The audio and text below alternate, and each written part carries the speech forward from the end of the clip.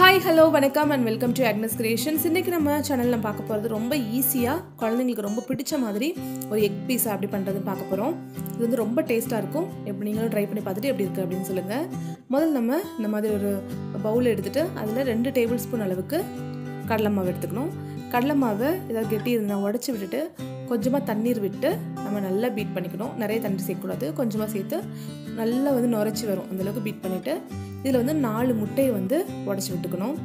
கடலை மாவு வந்து ஒரு நல்ல திக் லேயர் கொடுக்கும். ஸோ கடலை மாவு சேர்த்துருக்கோம். நிறைய கடலை மாவு சேர்க்க வேணாம்.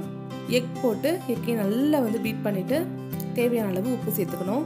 இப்போ இதில் ஒரு வெங்காயத்தை சின்னதாக நறுக்கி சேர்த்துக்கோங்க. ரெண்டு கேரட்டை துருவி சேர்த்துக்கணும்.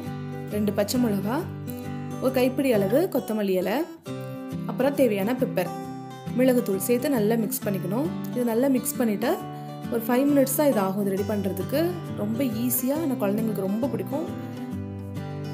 இப்போ நம்ம க தவாவை வந்து சூடு பண்ணிவிட்டு அதில் வந்து இந்த பட்டரை வந்து நல்லா எல்லா பக்கம் வர்ற மாதிரி பண்ணி தேய்ச்சி விட்டுக்கணும். விட்டுட்டு நம்ம பே இதில் எக்கை வந்து மிக்ஸ் பண்ணி வச்சுருக்கோம் இல்லையா அதை இதில் போட்டுக்கணும். ஈவனாக இருக்கிற மாதிரி நம்ம கரண்டி வச்சு எடுத்து விட்டுடலாம். இப்போ நம்ம இதை ஒரு மூடி போட்டு லோ ஃப்ளேமில் வச்சு குக் பண்ணோம் மினிமம் வந்து ஃபோர் டு ஃபைவ் மினிட்ஸ் ஆகும் லோ ஃப்ளேமில் வச்சுருக்கிறதுனால.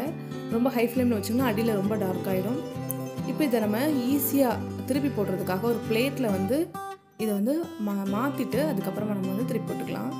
இல்லை நீங்கள் நார்மல் தவால தான் ஊற்றுறீங்க அப்படின்னா கரண்டி வச்சு பியா பார்த்து இது மாற்றி போட்டுக்கோங்க.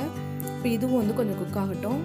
பார்த்தீங்கன்னா ரெண்டு பக் ரெண்டு பக்கமும் நல்லா குக் ஆகிடுச்சு இப்போ நம்ம இதில் எக்ஸ்ட்ரா இது வந்து ஆப்ஷன்னா நான் குழந்தைங்களுக்கு ரொம்ப பிடிக்கும். ஏன்னா பீஸானாலே சீஸ் தான். ஸோ வந்து நான் கொஞ்சம் மொசரோலா சீஸ் வந்து இது மேலே ஆட் பண்ணுறேன் இல்லைனா கொஞ்சம் பன்னீர் கூட நம்ம இது மேலே கிரேட் பண்ணி போட்டுக்கலாம்.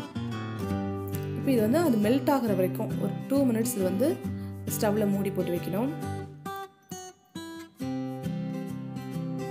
ஒன் ஆர் டூ மினிட்ஸ் தான் ஆகும். இது வந்து மெல்ட் ஆகிடும் இப்போ நம்ம வந்து ஆஃப் பண்ணிடலாம். ஆஃப் பண்ணிவிட்டு நம்ம இதை எடுத்துடலாம். எடுத்துகிட்டு நார்மல் பீஸா கட் பண்ணுற மாதிரி கட் பண்ணிவிட்டு ஒரு கெச்சப் வச்சு குழந்தைங்களுக்கு கொடுத்துட்டிங்க அப்படின்னா குழந்தைங்க ரொம்ப விரும்பி சாப்பிடுவாங்க. ப்ளஸ் வந்து கேரட்டு முட்டை எல்லாம் வந்து குழந்தைங்களுக்கு ரொம்ப நல்லது.